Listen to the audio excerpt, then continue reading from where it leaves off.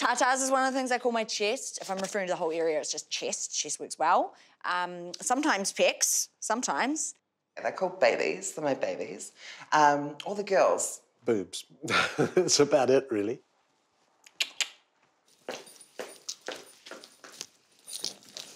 Hello, I'm George Fowler. I'm a transgender man, but most people know me best as this, which is Hugo Grrrl, who is a drag king. Hi, I'm Lexi. Um, yeah, I'm, I'm an academic. I'm transgender. Um, yeah, that's that's me. Kia ora, my name is Ramon Te Wake. I am 43 years old. I am a trans woman. Growing up, I had a complex relationship to my body in general. Puberty was like a really scary time. But I would get, have get out of the shower and I would look at myself in the mirror, and it was always a hint of, well, "What's that?" And the further down my body I got, the more it was, "What's that?" I was completely devastated and disappointed um, because, you know, I didn't develop bosoms. I would resort to like bras and then stuffing bras, like I think a lot of people can relate to in general. I got this like spacey, far away feeling, like I wasn't wasn't connected with what was happening at all. It's a bit like living in a hotel room, having the wrong body. You're in a hotel room, and you don't know what it's like to actually live in your own home. I was a showgirl from like 16, 17. There was a trio of us, and we would perform in a group called Pure Funk, and they were obsessed with big kahunas, so theirs would like. So we used to have like uh, socks, this is so embarrassing, um, with condoms in them filled with water, so that would give us like big bouncy boobs. And they would do things like slide up and down the floor, and I'm thinking, bitch, they are so gonna pop. But it wasn't until I started taking hormones um, that I developed boobs naturally. So I took these two little blue pills. Anything? No. Still this hairy, flat sort of thing. And I forgot about it.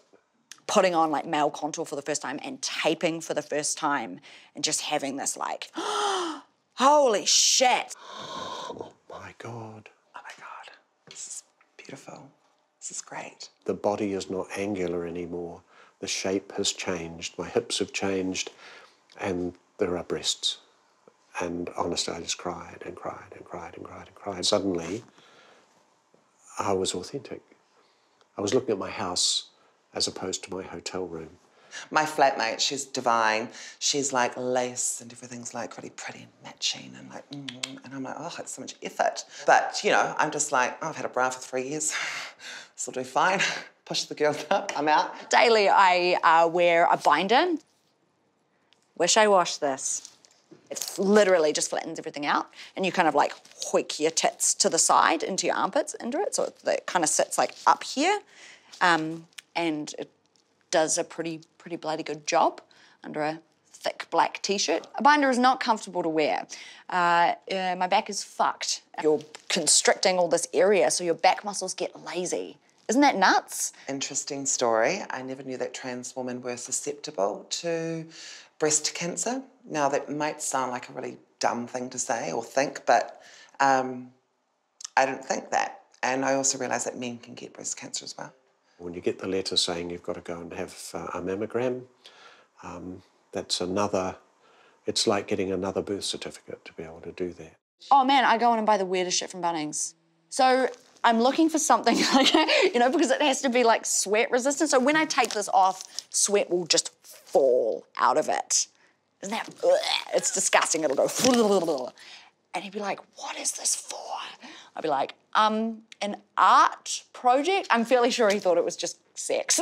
My friend owns a bar, um, and he quite often would ring me and say to me, You've got two bras here. And I'm like, Jesus Christ, how did that happen? Why is there two? I don't know.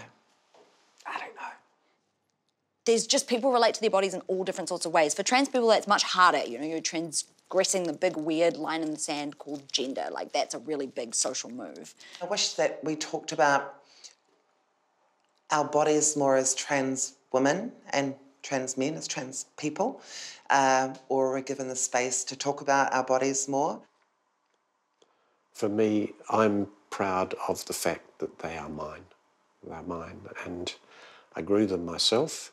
Um, they are nearly 20 years old, so they've got through their teenage years.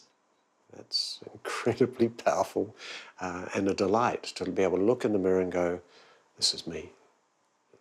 This is me. The journey has been worth it